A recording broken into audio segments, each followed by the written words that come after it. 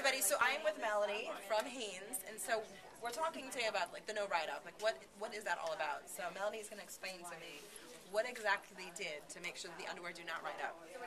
We took our existing panty and we looked at the pattern and we moved our side seams forward slightly. So these three here are The ones on up. the side, yes, mm-hmm. towards the front.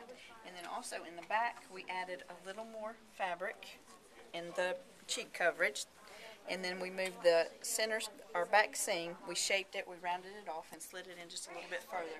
So when you sit down, the no ride up's not gonna be there, it's gonna stay in place all day long. I love that. So that's exactly how the whole that's the technology that goes into it. mhm, that went into it, yes. And then for the men, they're doing the no creep up, which is great. Love it. Thank you, Melody. Thank you.